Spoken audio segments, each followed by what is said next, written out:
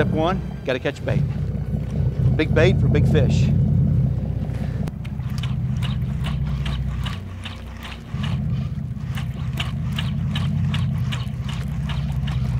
See that whole school of fish. Good gosh, man. They, I don't know what it is about this jig. I bet that thing looks wild coming up like that with it's, that rhythm. It's walking the dog because it's seven ounces. So when you yank it, it dives and then falls. oh wow. Watch this hand.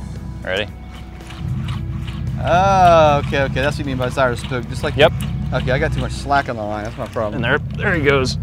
Whoa, bigger ones. See the school of them down there? Yeah.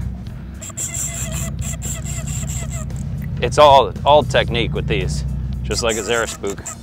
Those Goliath would gladly eat this fish whole. Hole. They don't bite them, they just suck them down. It's the Hershey kiss. That's crazy, man. That would be a, a little snack. The skittle. Yep. Oh, there, There you go. There he is. There.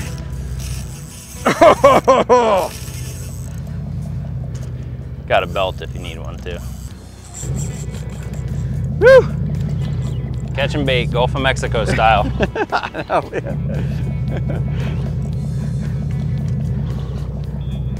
There. Already worn out. Have to go over top of you here. Come on up, girl. Oh, gotta go back the other way. Coming up, coming up, coming up.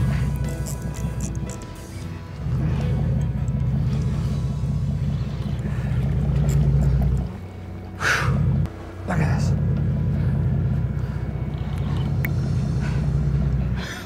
we're, we're just getting started. Oh, bull shark. Really? Yep, right there. Look, look, look in the water, right there. Matt, Matt, get your GoPro out. You want to catch him? No. Good, me neither. I mean, I don't mind if you catch him. I'm not gonna reel him in. Ready for a drop? Let's do it. Drop number two. Grouper, come on, Goliath Grouper. Come on, bite my hook. Go, go, go, go, go. You got it. I got something. I knew that workout plan would work. pull, pull on him. oh my God. Keep going. He's going. Reel when you can. There's that bent rod we were talking about. Oh my gosh. Woohoo!